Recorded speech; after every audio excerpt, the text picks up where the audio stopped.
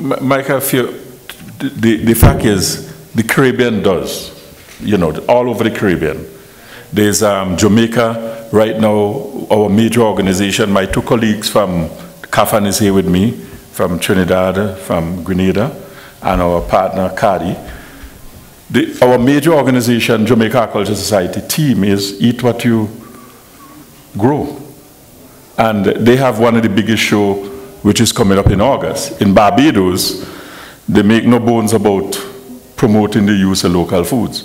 All over the Caribbean is done. But the, the, the reality is that a large percentage of our seasonal fruit goes to waste because we have not been capturing them.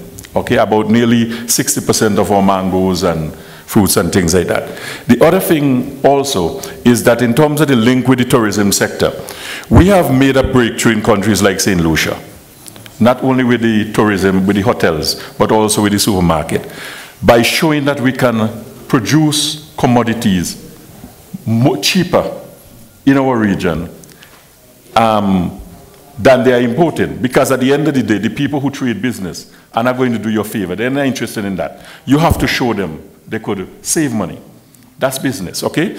We could be as sentimental as we want at the end of the day. So how we show them that was that if our, our organization, like in St. Lucia, our farmers group, were able to develop a system of delivering fresh products.